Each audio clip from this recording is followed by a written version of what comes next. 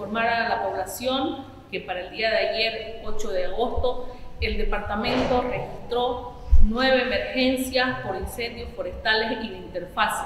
Los municipios que registraron emergencias fueron los municipios de Cotoca, Santa Cruz de la Sierra, Guarnes, La Guardia, San José y Puerto Suárez.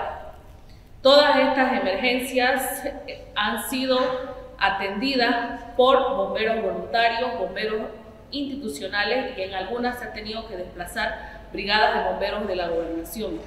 La emergencia que teníamos activa en el municipio de Puerto Suárez, dentro del área protegida nacional Otuqui, ya ha sido controlada y liquidada.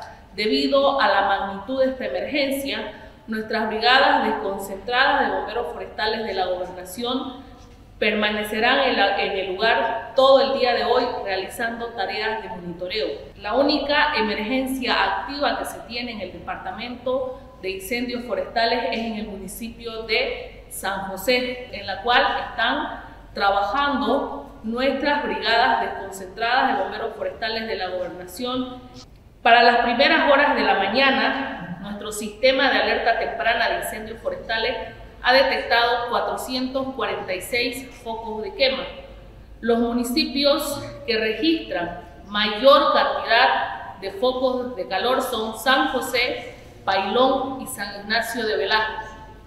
Como gobernación, todas nuestras unidades desconcentradas de bomberos forestales con la logística especializada está en apronte para continuar dando respuesta inmediata y oportuna a las emergencias por incendios forestales que vaya a tener el departamento. Y además nosotros hemos distribuido en cada una de las provincias vulnerables a incendios forestales cisternas, camionetas forestales, herramientas, mochilas forestales.